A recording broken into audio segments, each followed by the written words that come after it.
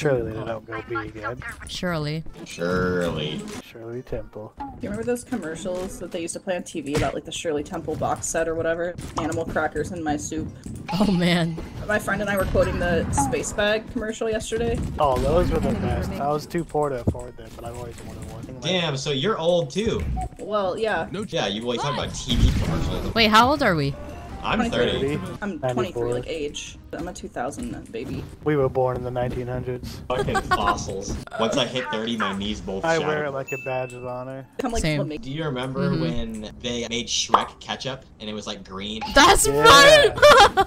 Yeah, it was fucking all over for a while. Do you remember uh, bagged milk that was at school? Dude, I don't remember used that. Yeah, it was in a little bag, like a little plastic pouch, and you could push in the corners and put food into it and slap it, and you could shoot the food out of the corner. I've never. I've never.